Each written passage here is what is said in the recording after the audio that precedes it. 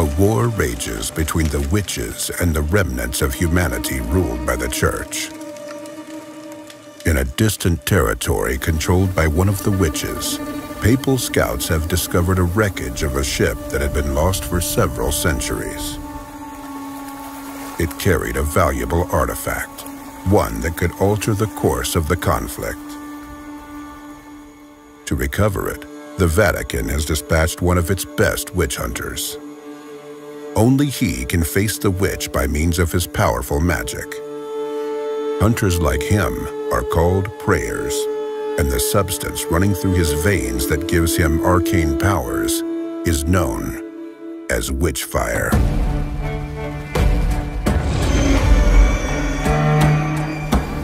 When you reach your destination, you're completely exhausted. There's very little witch fire left in your blood. One of the first things you must do is replenish your powers. The fastest way to do it is to fight the witch's minions, ghouls and wraiths. Once they're dead, the witch fire they were made of will be yours. However, this won't be an easy prey. The world of Witchfire is a place where everything is trying to kill you. Monsters prowl the area, treasure chests turn out to be deadly traps, and lethal contraptions stay hidden from view. If you waste bullets, ignore your stamina, and take your opponents for granted, you will die. And this can happen in a myriad more ways. Getting killed means that you lose all your loot, although it's possible to recover it, and the monsters you've eliminated come back from the dead. What's even worse, once the witch senses the powerful intruder who hasn't died so far, she will start throwing deadly curses at you, called the Calamities. These can raise the dead from their graves, or conjure a fog to unleash a hunt for your soul. She will stop at nothing to drive you out of her realm. And if this doesn't work and you still brazenly cling to life, amassing more power and a greater arsenal, then the witch will dispatch new types of minions and set traps the likes of which you have not seen. The world will change, adapting to your progress.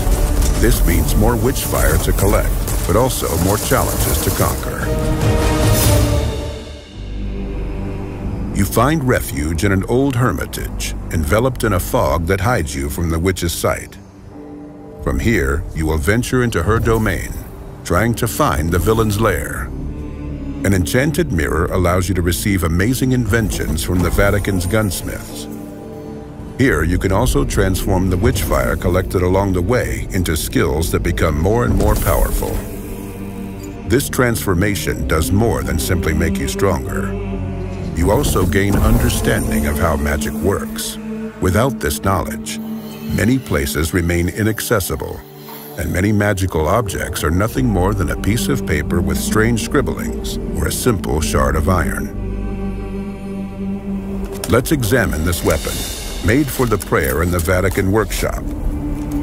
You're unable to see through its esoteric shroud. It looks like a regular rifle. The more witch fire courses through your veins, the more secrets reveal themselves to you. For instance, it turns out that the aforementioned rifle can hit several enemies with a single shot. This is how things are in this world, where common folk see nothing but a regular weapon, a seal with strange symbols, or a beautiful ring. A preyer recognizes brutally effective tools of death, spells based on one of the four elements, or magical signets that allow him to use telekinesis or teleportation. The preyer's task is simple. Kill the witch and recover the artifact she stole. However, simple doesn't mean easy. Luckily for you, the preyer has more tools at his disposal than superhuman powers or a magical arsenal. Some of these implements are called the Arcana.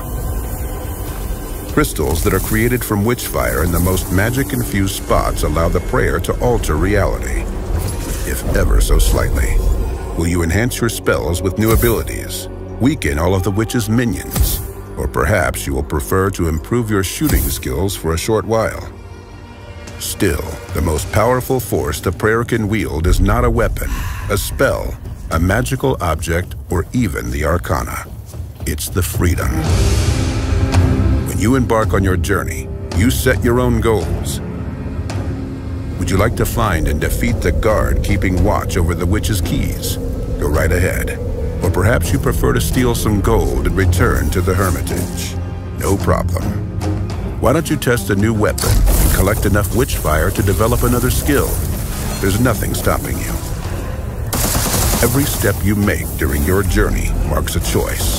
You can rush into a huge mob of enemies and try to execute them in a frenzied dance of death. Or opt for eliminating them one by one from afar. Steering clear from a fight is an option, as is provoking more fights for bigger rewards. This freedom means that there isn't just one correct method to defeat the witch. The preyer is not bound by time restrictions, and the Vatican doesn't care what methods he employs. A sharpshooter's agile fingers, a tactician's analytical mind, or special powers and magical objects. You can pick, choose, and match freely to achieve your goal. These are the bare bones of Witchfire. Discovering the rest is up to you. But here's a final thought. The witch knows that the preyers are immortal. Her goal is not to kill you. Her goal is to take away your belief that she could be defeated. When faced with hardship, you decide whether to give in to despair or get back on your feet and resume the fight. Godspeed, preyer.